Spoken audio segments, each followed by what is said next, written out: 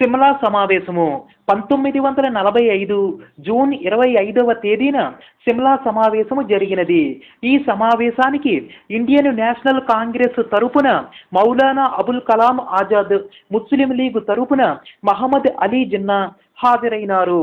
ఈ సమావేశంలో కాంగ్రెస్ను హిందూ రాజకీయ పార్టీగా ప్రపంచానికి చూపించాలని జిన్నా ఉద్దేశ్యము. దీనిని కాంగ్రెస్ వ్యతిరేకించడంతో సిమ్లా సమావేశము విఫలమైనది.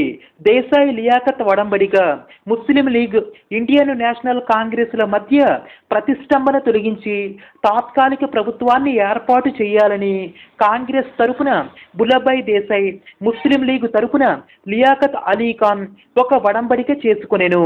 దీని ప్రకారం పంతొమ్మిది వందల నలభై ఆరు సెప్టెంబర్ రెండవ తేదీన తాత్కాలిక ప్రభుత్వం ఏర్పడినది.